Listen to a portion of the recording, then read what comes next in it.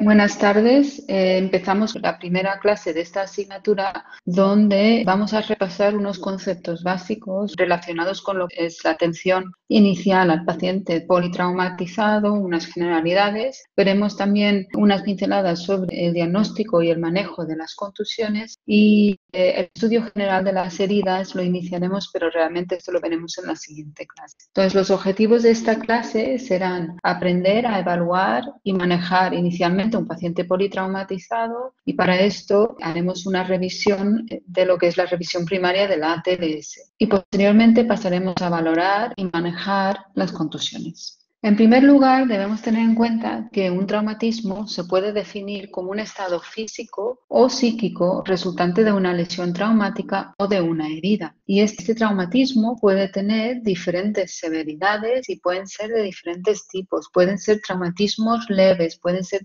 traumatismos penetrantes, pueden ser traumatismos masivos después de un accidente mayor y también pueden ser traumatismos psicológicos que tienen los pacientes. Un ejemplo muy típico de este tipo de traumatismo sería el estrés postraumático ¿no? que sufre un paciente, el síndrome de estrés postraumático. Pero nosotros lo que vamos a ver en esta clase es lo que se llama la atención inicial al paciente politraumatizado. Entonces, durante esta atención inicial, los pacientes se evalúan y las prioridades de tratamiento se establecen en función de las características de las lesiones sufridas, los signos vitales del paciente y el mecanismo de la lesión sufrida. En un traumatizado grave, las prioridades lógicas de tratamiento deben establecerse en base a una evaluación completa del paciente.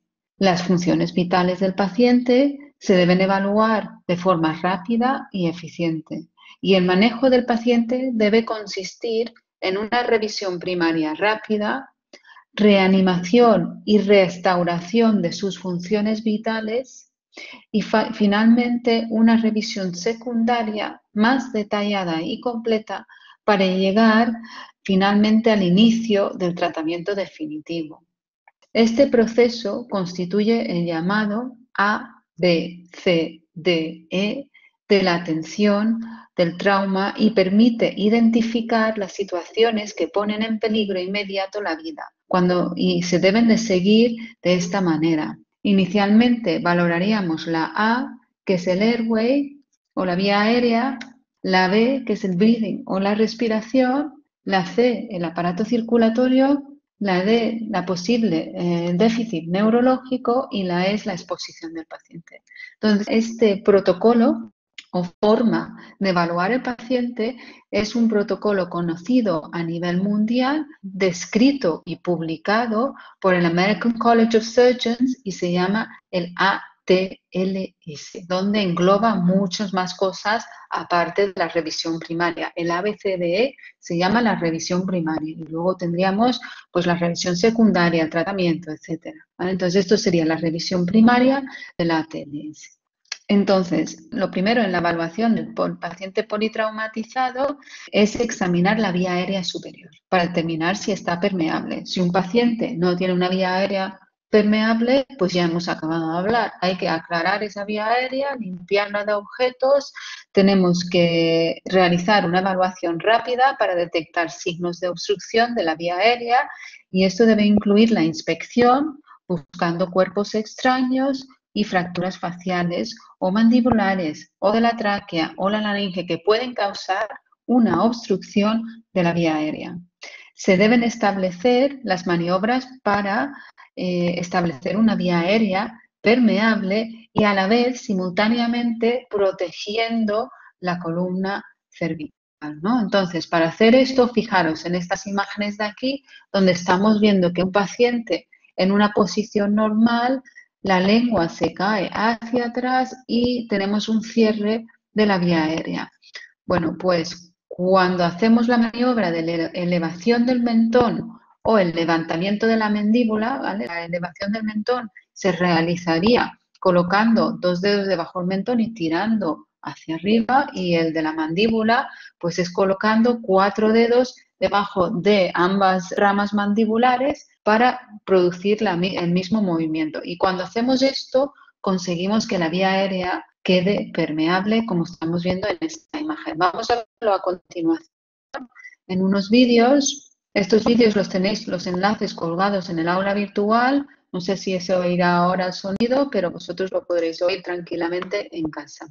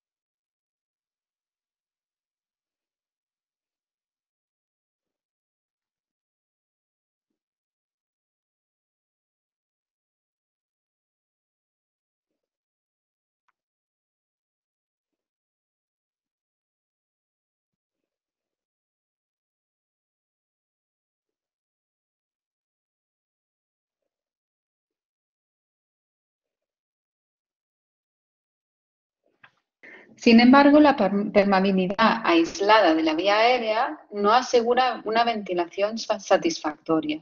Una cosa que no he mencionado en, la clase anterior es que una forma muy fácil de valorar esa vía aérea de forma muy rápida es hacerle unas preguntas al paciente. Y si el paciente es capaz de contestar, es improbable de que tenga una vía aérea ocluida. Entonces, eso en el apartado de la vía aérea. Ya, como os decía, la permeabilidad aislada de la vía aérea no asegura una ventilación satisfactoria. Para asegurar la máxima oxigenación y eliminación de CO2 es indispensable un intercambio gaseoso adecuado. La ventilación necesita una función adecuada de los pulmones, de la pared torácica y el diafragma, y cada una de estas estructuras debe examinarse y evaluarse rápidamente. Entonces, los apartados de esta exploración serían exposición, luego inspección, palpación, percusión y auscultación. Para evaluar, de forma adecuada los movimientos del tórax durante la ventilación, el tórax del paciente debe estar expuesto, si no, no lo veremos. Primeramente se debe escuchar para determinar el flujo de aire a los pulmones. La percusión puede ayudar a detectar la presencia de aire que nos daría un sonido timpánico o la presencia de sangre que nos daría un sonido mate en la cavidad pleural. La inspección y la palpación pueden detectar lesiones de la pared torácica que comprometen la ventilación. Las lesiones que pueden alterar de forma aguda la ventilación son el neumotórax a tensión, entonces aquí tenemos un ejemplo, este sería lo que ocurre cuando se produce un neumotórax a. Tenemos un paciente con una lesión en la pared torácica, con una entrada de aire hacia la cavidad torácica, pero con un efecto valvular que se produce donde este aire no puede salir hacia el exterior. Entonces, ¿qué es lo que pasa? Que entra aire continuamente por la lesión, se acumula dentro de la cavidad torácica, comprime el pulmón y en los casos más avanzados tenemos un desplazamiento del mediastino. y todas las estructuras del mediastino, tráquea, bronquios, corazón, grandes vasos hacia el lado contralateral. Y en el peor de los casos tendríamos una compresión del pulmón contralateral. Entonces, esto es una emergencia que tiene una solución bastante sencilla si sabemos reconocerlo y eso lo veremos en una clase más adelante. ¿Qué es lo que tenemos que hacer? Pues cogemos una bránula o una bocat de un calibre grande y lo colocamos en el segundo espacio intercostal y con esto conseguimos que este aire que está dentro salga hacia el exterior y que todas las estructuras vuelvan a su posición normal.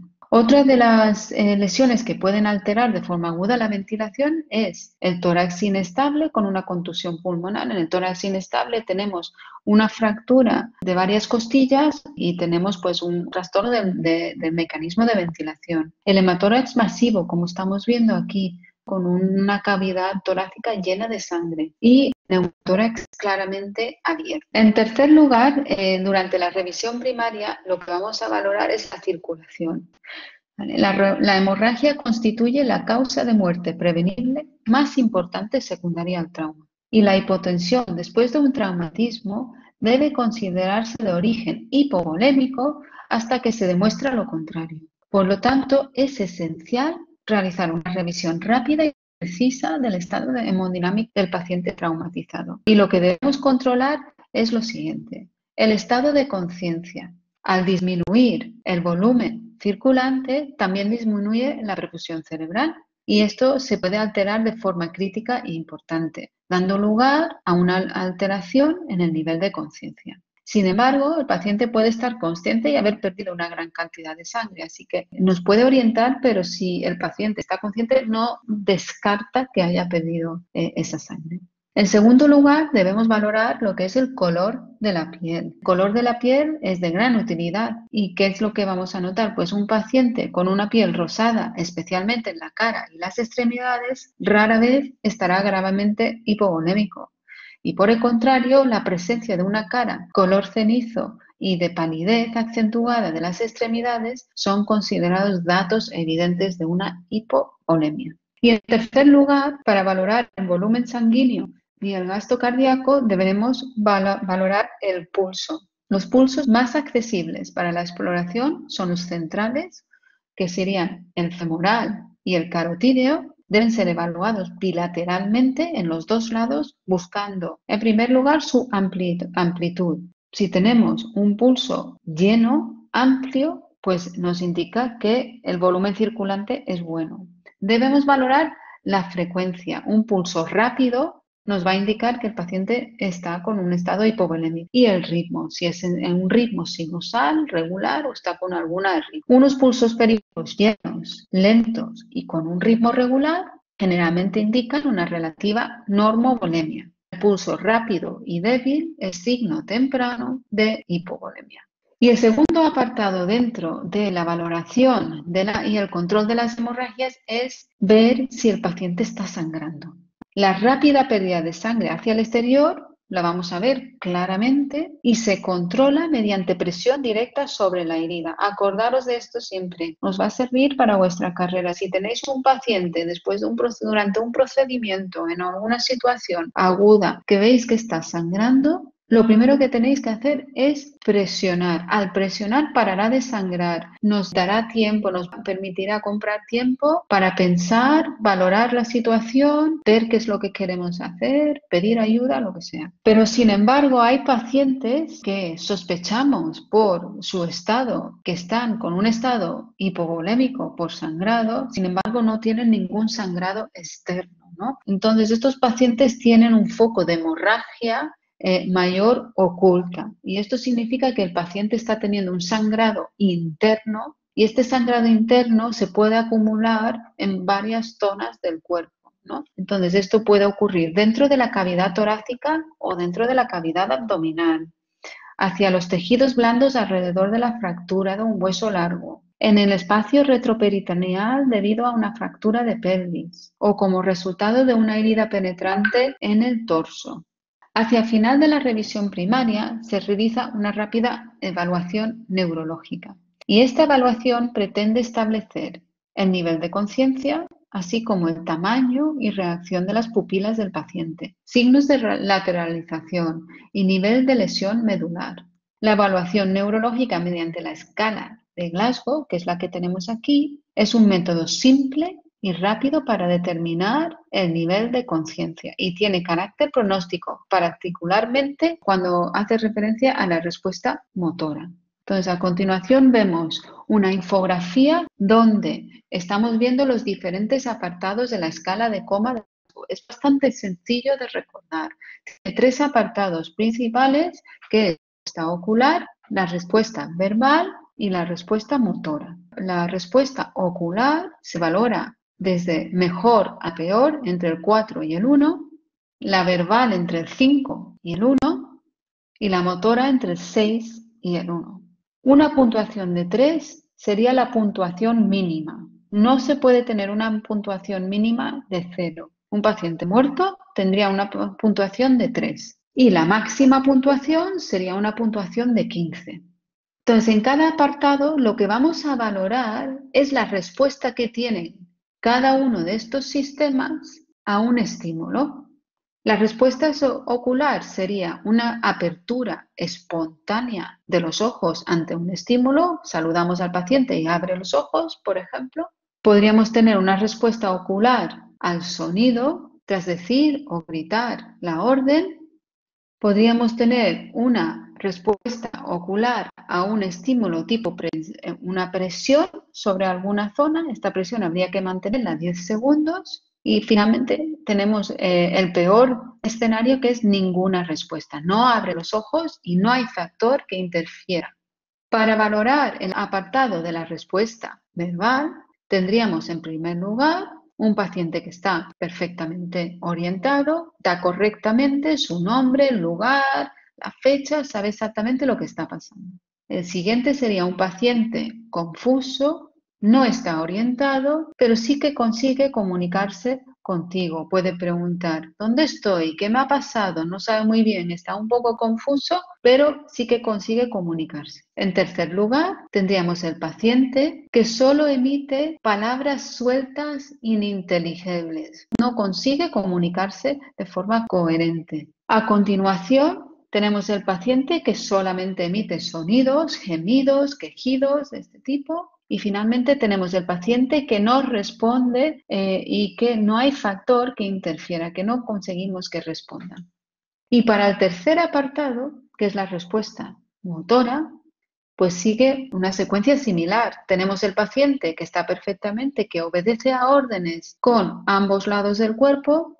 Tenemos el paciente a continuación que localiza el estímulo, ¿no? Si tocamos en alguna zona del cuerpo, ese paciente es capaz de localizar dónde le estamos tocando, llevará su mano a esa zona. A continuación tenemos un paciente que no localiza, pero que sí que dobla los brazos cuando sobre el codo rápidamente cuando le estimulamos. Y luego tenemos los estados más graves que serían la flexión anormal con doble brazo sobre codo, que son características anormales, posiciones anormales que nos indican pues, algún tipo de daño medular o cerebral la extensión de ambos brazos y ninguna respuesta. Y finalmente, para facilitar el examen y una evaluación completa del paciente, debemos desvestirlo totalmente, lo que generalmente requiere cortar la ropa. Difícilmente vamos a poder exponer el paciente eh, de forma rápida si no cortamos la ropa. Después de que se le quite la ropa y se ha evaluado, es importante cubrirlo con cobertores tibios o con dispositivos externos, mantas de aire caliente, lo que tengamos disponible para poder calentar el paciente. Y luego los líquidos que le infundimos deben ser líquidos calentados previamente. Entonces esto constituye todo lo que es la revisión primaria. Es importante conocerlo Cualquier médico o odontólogo debe saber atender una situación de urgencia, por lo menos hacer la revisión primaria. Y después de la revisión primaria, ¿qué es lo que haríamos? Pues Manejaríamos estas eh, lesiones que pueden estar comprometiendo la vida del paciente, colocaremos dos vías periféricas, lo veremos a continuación en otra clase, pero sacaríamos sangre para una analítica, pruebas cruzadas, a lo mejor le haríamos una placa de tórax, puede ser que le hagamos una ecofast abdominal para ver si tiene un sangrado abdominal, dependiendo del tipo de accidente que ha tenido, Luego le colocaríamos una sonda nasogástrica, una sonda vesical, infundir fluidos, ¿vale? Todo esto sería el tratamiento después de la revisión primaria, el manejo del paciente después de la revisión primaria. Y una vez establecida esta situación, pasaríamos a hacer la revisión secundaria, donde valoraríamos esas lesiones ya de forma más detallada para iniciar un tratamiento definitivo del paciente. Pasamos ahora a lo que es la segunda parte de la clase, que son las contusiones. Una contusión es un daño que recibe alguna parte del cuerpo por un golpe que no causa herida exterior. Se puede definir como una lesión física no penetrante, esto es importante, no produce una herida exterior, es no penetra y es una por la acción, se produce por la acción de un objeto duro que actúa sobre el organismo con una fuerza considerable para producir pues un sangrado. Entonces tenemos desde contusiones muy leves, como estamos viendo aquí, a, contusiones mayores. Esto sería un ejemplo de una hemorragia cerebral, que es la típica lesión que se produce en boxeadores. Hay una serie de lesiones anatomopatológicas que se producen durante esta contusión. En primer lugar, tenemos una rotura de vasos, donde se debe de producir una hemostasia adecuada. Luego tendríamos una lesión tisular a la vez, que nos va a producir una importante reacción inflamatoria y un edema importante de los tejidos. Y esta reacción inflamatoria tiene dos objetivos finales. La reabsorción de detritus, todos los componentes que no queremos tener, pues tenemos la serie blanca que nos va a fagocitar y reabsorber todas esas sustancias y por otra parte se aportarán sustancias elementales para la regeneración y la cicatrización de las heridas. Y esto lo vamos a ver muy en detalle en la clase sobre cicatrización de las heridas. Las contusiones se clasifican en tres grados. El primer grado es un grado muy leve, donde lo único que vamos a ver son unas equimosis, unas pequeñas petequias, estos puntitos rojos que estamos viendo aquí, y una posible sufusión hemorrágica, pero es una cosa muy leve que no debe afectar al paciente de forma importante. El segundo grado sería ya un hematoma importante con un derrame seroso alrededor que le va a producir una clínica de dolor y una impotencia funcional al paciente. Y finalmente tendríamos ya el tercer grado que ya es un paso más. Es un hematoma, una contusión que además ha drenado al exterior y ha, producido una escara y una herida en la superficie.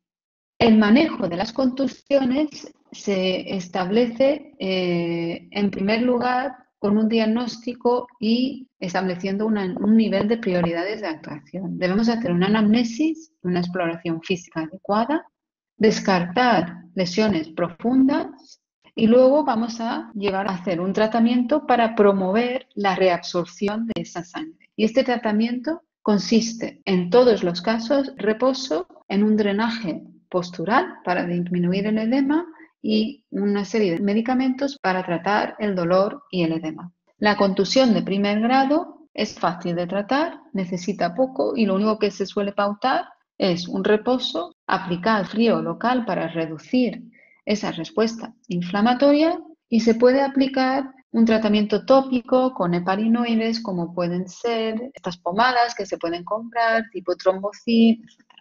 Una contusión de segundo grado ya necesita más atención y lo que tenemos que hacer es un reposo, pautarle un reposo al paciente y además comprimir ese hematoma. Entonces, esa contusión necesitará un vendaje compresivo y un reposo para evitar que el sangrado vaya más. Entonces, con esta compresión, el mismo, el vendaje compresivo con lo que es el mismo hematoma comprimirán sobre el foco de sangrado que está teniendo el paciente para hacer hemostasia.